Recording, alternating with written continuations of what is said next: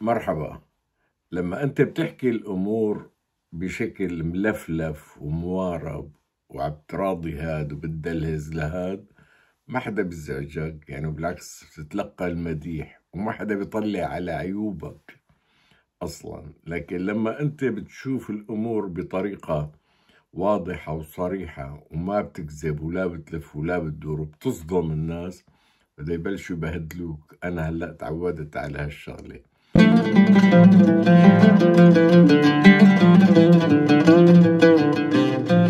في واحد كتب لي أنا عم أحكي بالفيديو السابق عن الأستاذ رياض الترك وعن الساروت وعن البيانوني وعن شريف جابر. ما يعني ما له علاقة بالتعليق اللي إجا. عم بيقول لي إنه أنت عندك تكبر وغرور بكفي الوطن العربي. فأنا بدي جاوبه قلت له والله صحيح هذا الحكي. أنت كيف بدك أنت تفرجي لواحد انه إنه معلش هاي تمرق له إياها؟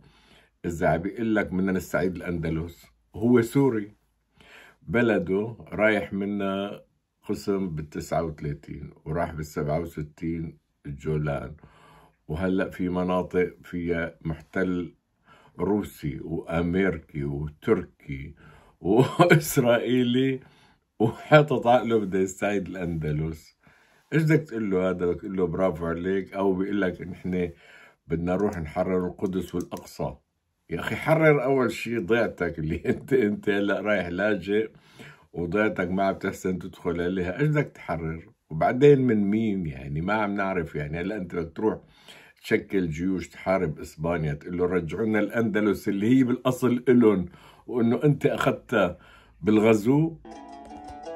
وفي ناس مع احترامي الشديد لهم بيدخلوا على الفيديو بيلاقوا شغلة فيها خطأ مني فبيقولوا لي إنه مو بس هاي كل شيء أنت حكيته خطأ بدليل هاي. يعني مثلا أنا عم بحكي عن الدولة المصرية وقلت هي فيها مقومات الدولة وعددت كثير من هذه المقومات ومن الجملة قلت في حرية صحافة ومصر من 1895 فيها سينما وهيك عم بحكي. ففي سيدة كتبت لي إنه الفيلم السوري المتهم البريء قبل مصر ما تنتج سينما فمنين عملت لي ومنين عملت لي فيها حرية الصحافة؟ اولا هذا فيلم المتهم البريء أنا رجعت لجوجل طبعا وويكيبيديا أنتج سنة 1800 عفوا 1928 بينما السينما المصرية مختلف المؤرخين إنه هي بدت بال 1896 ولا 1907 بس هذا هو الخلاف. ومع ذلك أنا بقول لو كان المتهم البريء أنتج قبل مصر فرضا يعني هذا مو مؤشر لأنه اللي صار في صناعة سينما وضخمة جدا وصار في تقاليد لصناعة السينما مؤسسات ونجوم. يعني مصر ما في غير مصر. السينما السورية يعني رغم أنه فيها منيح يعني بعض الأفلام الكويسة بس هي في السينما كإنتاج هزيل جدا. أمس في واحد عمل مقارنة إنه شادية في تاريخها عملت 54 فيلم. شادية لحالها ما ترك أحمد مظهر وترك يوسف بيك وهبي وفاتن ترك كل هدول النجوم شادية 54 فيلم أكثر من أفلام المؤسسة العامة للسينما السورية. شو بنا؟ مصر يا رجل معقولة تجي تقارن؟ يعني مع احترامي أنا أنا سوري بس والله ما بتتقارن. مصر أهم. وبالنسبة لحرية الصحافة مصر ما تزال من زمان على أيام الملكية كان فيها صحافة. ومصر حتى عبد الناصر لما أمم في سنة ال 54 كل المؤسسات الديمقراطية وبما فيها الصحافة حاول يحط عليها قيود. لكن الصحافة بقت في مصر حرة ما ما حدا من الحكام قدر يلجم حرية الصحافة في مصر. يعني تصور كان متولي الشعراوي أيام أنور السادات وبعدين على زمان آه، حسني مبارك كان يعني مسيطر على وجدان الناس وكانوا يقولوا يشبهوه إنه رب ربنا الصغير ما حدا يسترجي يحكي عليه كلمة. في الصحافة المصرية يوسف إدريس وتوفيق الحكيم كتبوا عليه كلام حتى أنه يوسف إدريس قال عنه هذا راس بوتين. عمل مقالة شبهه براس بوتين. سيد القمني أول واحد يمكن في سنة 1900 كمان 92 93 هذيك الأيام حكى على أنه ذهابنا للأندلس لم يكن فتوحات بل هو غزو. وحكى عن هذا الأمر يعني كان يناقش بجرأة وين؟ في الصحافة المصرية طبعا. وقصة أبو الخير نجيب معروفة وقت اللي كان في أول الثورة يقول لهم إنه كان عندنا ملك واحد صار عندنا ملوك كثيرين وجابوا عبد الناصر وحاول إنه يثنيه عن ما هو عليه. هذا أبو الخير نجيب كان يقارع الملوك وكان يقارع رؤساء الوزراء على زمن الملك سابقا. الأفكار الجديدة الإشكالية التصادمية وين كانت تنعرض؟ كلها في الصحافة إما المقروءة أو المرئية أو المسموعة. هلأ حوارات فرج فود اللي أدت إلى مقتله وكتابات الأستاذ نصر حامد أبو زيد التي أدت إلى أنه رفعوا عليه دعوة وخلوه يجبروه يطلق مرته. كلها وين صارت؟ هاي كلها في الصحافة. كانت تتداولها بشكل يومي. الصحافة المصرية صحافة غزيرة عشرات مئات المجلات والصحف عم تنشر كل يوم. عدد كبير من الآراء والأفكار وفي منها تصادمي أكثريتها تصادمية. وبالنسبة للجماعات الدينية كانت رزقتهم موجودة على أنه الناس ما تتنور ولا تتوعى. ولذلك كانوا يستغلوا حتى وجودهم ضمن أجهزة الدولة هون وهون مشان يقاوموا هذا الجديد. لأنه بتنقطع رزقتهم إذا هذا الجديد بلشت الناس تتنور وتصير عقولها تتفتح. معروف هذا الشيء ليش هن بيقاوموا الجديد وبيتبعوا حتى الوسائل غير المشروعة في مقاومته؟ طيب أحمد حرقان طلع شاب ملحد في مصر. وين كانوا يستضيفوا؟ في المحطات التلفزيونية بما فيها الحكومية ويجيبوا مشايخ ويناقشوه وكان يصر ويعاند وما كانوا يحسنوا يغلبوه حتى حوارات سيد القمني ومناظراته كلها كانت أكثريتها كانت تتم بشكل علني. طبعا المعارك كانت تصير كر وفر بين هدول المتنورين وبين الرجعية الدينية. ولكن هذا شو؟ مين اللي احتضنه هو الصحافة المصرية. فما بيجوز نحن نقلل من شأننا نقول نحن ما عم نقول إنه هي نموذجية وإنه مصر بلد حريات كاملة بس نحن عم نقول نحن أمام دولة حقيقية اللي اسمها مصر. دولة فيها هيك وفيها هيك. يعني فيها تخلف فيها تقدم فيها متنورين وفيها ظلاميين. وهذا هو الشيء اللي عانيته أنا. يعني هلا بيجوا بده يقللوا من شأن مصر. الحقيقة ما بيحسنوا. نحن بعمر الصحافة السورية طول تاريخها يعني خاصة بعد 63 ما شهدت أي نوع من هاي المعارك الثقافية السياسية المهمة التصادمية. في مرة واحدة يمكن عملوا مناظرة بين البوطي وبين الدكتور طيب تيزيني وكانت مناظرة مبينة معركتها محسومة لمصلحة البوطي. ليش؟ لأنه طيب تيزيني اللي عم يطرح أفكار جديدة ما بيسترجي يتعمق في طرحها أو يكون جريء في طرحها. يعني أنا بقول لك أحمد حرقان كان أقوى من طيب تيزيني رغم أنه ما كان بأول طلعته ثقافته قليلة قياسا لطيب تيزيني بسبب الفضل للدولة المصرية والصحافة المصرية. حتى شريف جابر حتى هشام المصري هدول شو؟ صحافة حرة. لما عم بيعمل قناة على اليوتيوب وبيطلع بيحكي اللي بده إياه إيه؟ بكل جرأة وشجاعة. وبالأخير بيضطروا إنه الأزهر وغير الأزهر يرفعوا عليه دعاوي من شان يحبسوه بموجب المادة 98 من قانون العقوبات اللي اسمها ازدراء الأديان واللي قلت أنا في الفيديو السابق أنه بهذه المادة هذه الدولة المصرية اللي أنا بحبها وبحترمها بتشتغل تحت إيد الجماعات السلفية. يعني أنتوا ليش ما بتحاكموا وبتحبسوا الناس اللي بيفتوا بالقتل وبال وبوطء الصغيرة وبهاي الشغلات؟ لا أنتوا يعني بدكم تكونوا كدولة على الحياد وأنتوا ما نكون على الحياد. وهذا الشيء بيأخذني لتعليق آخر أحدهم قال يا أخي مئة سنة والدول العربية محكومة بالعلمانية. وين العلمانية؟ هاي مصر نفسها رغم تاريخها الطويل والعريق ما توصلت لمستوى أنه تصير دولة علمانية ديمقراطية. حتى هذه اللحظة إذا ما شلت منها قانون أو مادة تبع ازدراء الأديان هي دولة دينية تقريبا. خذ سوريا مثلا هي دولة علمانية. إذا كان دولة علمانية ما بنص الدستور على أنه دين رئيس الجمهورية الإسلام.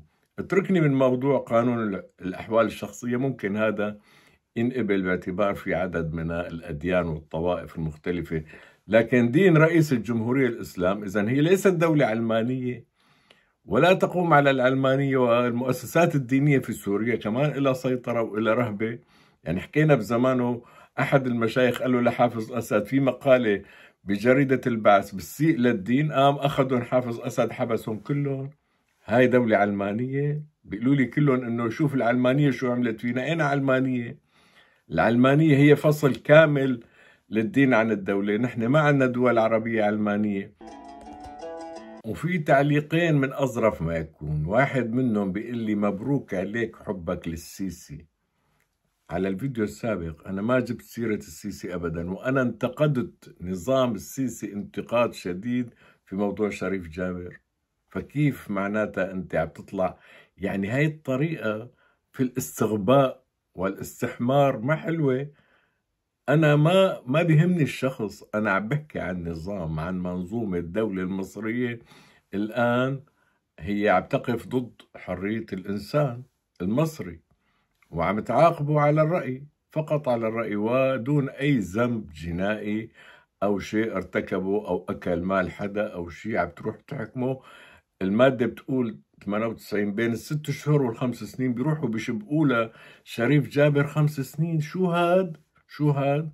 وبيقول لك إنه والله أنت مع السيسي. أنا ما بيهمني الأشخاص ولا ولا إذا واحد كويس بقول كويس. مثلا أنور السادات أنا مرة حكيت عنه. قلت لولا إنه فتح مصر للإسلاميين وهذا ما يسميها الصحوة الإسلامية. أنا بعتبره ايقونه لأنه جاب لمصر السلام يا جماعة. عبر العصر الحديث كانت مصر عم تستنزف في حروب خاسرة سلفا مع إسرائيل. المعركة الوحيدة اللي تعادلوا تقريبا فيها انتصر بالأول الجيش المصري وبعدين الجيش الإسرائيلي رد عليه وتقريبا طلعوا تعادل بالأخير مع أفضلية صغيرة لمصر. بس قد مصر دفعت أموال وشباب وأعمار يعني كان مرة من فترة من الفترات يروح واحد على العسكرية يضل خمس ست سنين سبع ثمان سنين الشاب بيروح عمره هو وين؟ في العسكرية. وقبل ما أحكي لك عن التعليق الثاني بقول لك إنه في ناس غريبين. يعني بيدخل بده يناقش بالفيديو.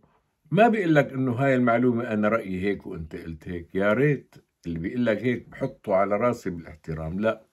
واحد إذا شاف إنه هو صح وإنه بهاي المعلومة أنت غلط أنت تهرف بما لا تعرف أنت مخرف أنت ما بتفهم أنت أخذت حبايتك ولا لأ أنت إزهايمر أنت يعني ما في شيء وأنا مثل أولادك بدي أنصحك هلأ بدنا نحكي كمان بفقرة قادمة على النصائح. فبالأخير واحد بيقول لي يا أخي أنت والله ما بتفهم وعيب أصلا كنت تمثل السوريين في الائتلاف وغير الائتلاف لازم أنت تقعد على جنب ما بقى تحكي ابدا. ليش خيو؟ قال أنت كيف قلت عن أنور السادات إنه هو رئيس مؤمن؟ بالفيديو السابق. أنا ما قلت عن أنور السادات رئيس مؤمن هو اللي قال. قال أنا رئيس مؤمن لدولة مؤمنة. هذا تصريح للسادات مو أنا قلت.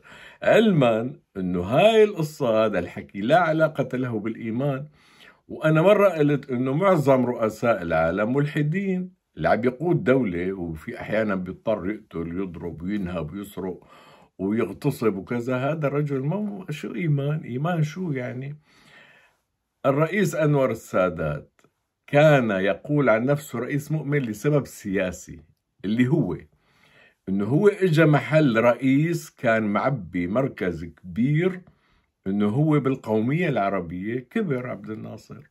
قد ما خطب وحكى وعمل وكذا بالقومية العربية جمع جماهير خارج إطار مصر. هاي ميزة جمال عبد الناصر. ولكن هالفراغ اللي عمله إذا إجا أنور السادات وهو لم يكن شخصا معروفا لأنه عبد الناصر قد ما كان كبير ما كان حدا مبين من المقربين أو من جماعة اللي قاموا بالثورة معه مثل أنور السادات ما كانوا مبينين. فبده يجي يكبر هو في مصر إذا بده يقول أنا رئيس عربي وأنا أقود الأمة العربية ما تطلع بايخة. فقال أنا رئيس مؤمن نحن مسلمين نحن دولة إسلامية. فركب دائما في عندك صهوتين صهوة القومية العربية وصهوة الأمة الإسلامية. فركب على صهوة الأمة الإسلامية. وكانت النتيجة مثل ما حكيت مرة كمان أنه قتلوه مين هن نفسهم لأنه هدول الجماعات الإسلامية هن جماعات بيعتبروا أي حاكم لا يطبق شرع الله مثل ما هن بدهم هو حاكم كافر طاغوت ويجب أن يقتل وقتلوه بكل بساطة. يعني هو دفع ثمن ركوب هذه الموجة. لو كان مشي باتجاه أنه نحن مصر لو كان مشي باتجاه تمصير السياسة المصرية كان فعلا صار أيقونة وعمل شيء كتير كبير. ومع ذلك ما يزال التاريخ وسيبقى يذكر يذكر أنور السادات بالخير. أنا هيك برأيي. من أجل هذه المعاهدة اللي عملها معاهدة السلام اللي الحكام العرب الآخرين كانوا أغبى وأتفه من أنه يروحوا يشتغلوها. أنا بقول لأنه هو عرض عليهم قبل ما يروح أنه تعالوا نعمل كلياتنا نحن العرب اللي عم تنتصر علينا إسرائيل في حروبها تعالوا نعمل سلام وهي الفرصة المناسبة كانت الوحيدة. لأنه فيما بعد صاروا العرب يقولوا نحن بدنا نعمل سلام تقول لهم إسرائيل إيه مرحبتين بقى بعدين بعدين بدي يروحوا هلا إذا أنت بتتابع حوارات السوريين اليوم على اليوتيوب أو على التيك توك أو بالصحافة بتمر معك كتير كلمة النخب بيقولوا عن السوريين المثقفين السياسيين نخب. أنا بقول ما عنا نخبة في سوريا ذات قيمة بمعنى أنه يكون هاي النخبة عندها تقريبا هدف أو أهداف متقاربة ومعظمها سورية وطنية. ما عندها أجندات غير سورية. ممكن نقول هذه نخبة ولكن ما عندنا واحد بتلاقيه مع الأتراك وواحد مع الإيرانيين وواحد ميوله إسرائيلية وواحد مع روسيا وواحد مع يعني مشكل مع إيران. فنحن ما عندنا نخبة مثل الخلق فبيقولوا لك النخب السورية.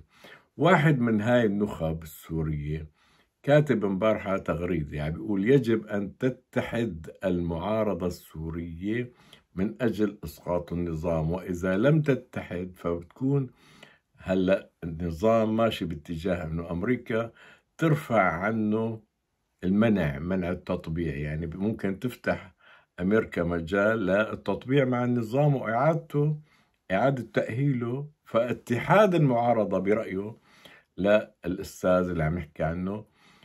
يعني بيعمل حل وبخلينا نسقط النظام. فهون أنا في سؤالين أنا بسألهم إنه أول سؤال مين هي المعارضة؟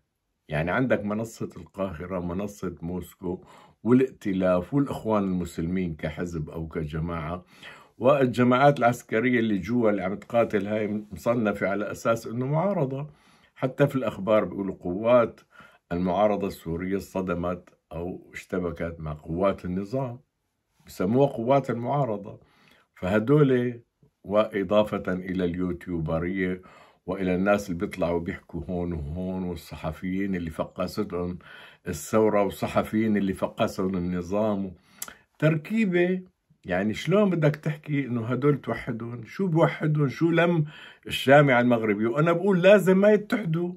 شو هذا الحكي؟ يعني توحد الإخوان. يعني مثل ما حكينا بالفيديو السابق مع جماعة الشيوعيين تبع رياض ترك ما بيصير هذا الحكي.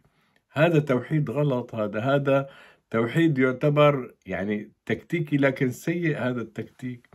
ما بيعطي نتيجة إيجابية وفعلا بعمره ما أعطى نتيجة إيجابية لأنه إذا بتاخذوا تجارب اللي اشتركوا فيها علمانيين مع إسلاميين في سوريا في لبنان في كل مكان في فلسطين كله كله. بعد ما ينتصروا حتى في إيران الثورة الإيرانية بعد ما ينتصروا بصفوا للعلمانيين وبضل عندك جماعات إسلامية صرفة. فما بصير هذا الاتحاد. وثانيا إنه ليش معتبر إنه إسقاط النظام هدف بديل؟ هو نفسه هذا الشخص اللي عم يحكي. المفروض يوضح لنا إنه بعد ما يسقط النظام شو لازم نعمل؟ وهدول المعارضة اللي هو عم يطالبهم بالتوحد أو بالاتحاد إنه شو لازم يعملوا؟ شو هي مهمتهم بعد إسقاط النظام؟ أنا بشوف إنه في كثير من الناس السوريين الذين يدعون إلى إسقاط النظام ما عندهم فكرة إنه إذا سقط النظام شو راح يصير. ودائما أنا بحذر وأصر على ذلك إنه راح يصير مذابح في سوريا إذا سقط النظام. أنا أطالب بتغيير النظام وليس بإسقاطه. تغيير النظام في سوريا إلى نظام فيدرالي ليبرالي ديمقراطي علماني بكل النواحي. واستبعاد أي حلول غير وطنية وغير علمانية يعني الحلول اللي هن عم يطالبوا فيها مثل هلأ اللي كاتب لي تعليق إنه سوريا هي بلاد الشام وهي إجباري عن البريد والما بريد عربية سنية أموية كمان برجعنا شي ألف سنة لورا. فهذا هو. في حدا دافع عن هاي الفكرة فكرة هذا الرجل إنه يا أخي والله إسقاط النظام هدف نبيل انت ليش ما انك معتبره نبيل؟ فقلت له طيب مين اللي بده يسقطه؟ وشلون؟ قال يا أخي نحن بنطلب من الأمم المتحدة حماية دولية. قلت له مين أنتو؟ يعني لما حدا بده يطلب من من الأمم المتحدة أو أي دولة في العالم شيء بده يكون له تمثيل له مصداقية معه ختم. أنتو مين أنتو؟ نحن مين نحن اللي بدنا نطلب؟ قالوا بعدها بعد ما نطلب حماية يعني افترض إنه إجوا وعملوا لنا اللي بدنا إياه وسقطوا لنا نظام وقالوا لنا روحوا بقى بنروح بنعمل انتخابات مجلس الشعب بعدين بنعمل انتخابات رئاسية وبعدين بتصير العصفورة بتعشش بالأرميد بترجع والعصافير تزقزق والهواء النسائم العليلة بتهب على البلد.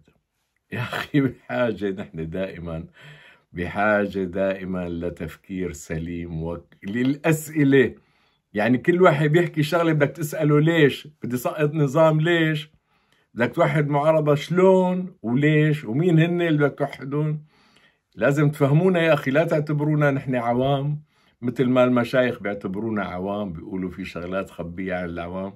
لا تخبوا علينا شيء احكوا لنا. وقت الواحد بيطرح فكرة يا أخي يفقطها يحط بنودها. يعني هالناس هدول من حقهم يفهموا. مو كل واحد عنده مثل ما بيقولوا شكارة بيروح بصبها بالطاحون.